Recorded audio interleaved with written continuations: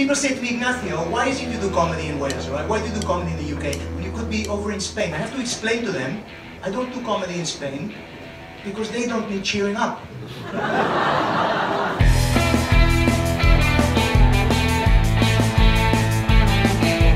Ignacio Lopez has just come back from Edinburgh Fringe Festival, but what does that mean to a comedian in Cardiff? Edinburgh is the biggest arts festival in the world, so for a comedian from anywhere to go there is exciting. For somewhere like Cardiff, which is still quite a, a new comedy scene, uh, very still a small amount of comedians, it's an exciting, fascinating place to go travel up to, and it's an opportunity for other acts, younger and newer, uh, to go and perform to audiences from all over the world, which is super exciting. But Ignacio, do the Cardiff comedians stick together in Edinburgh? I think the, the Welshins really supportive of one another. So I went to see everybody's show. I went to see Steffan Alun, Phil Cooper, Chris Chopping, uh, Esyllt Sears, and the Larry Morgan. I went to go catch their shows. Uh, some of them came to see mine as well.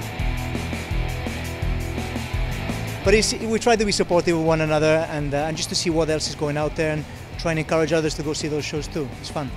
I took up a show called Españolo, uh, which is all about Spanish history, and I try and explain why Spain is the greatest country on earth. Uh, what they discovered from performing in Edinburgh over 11 days is that British people don't give a monkeys about Spanish history, right? So I had to make it relatable. I talked about my time living in Newport. I talked about some characters around Wales and Cardiff and stuff like that. Also, uh, relatability stuff like food and the culture shock with things like this, just to try and make it palatable to, to British audiences.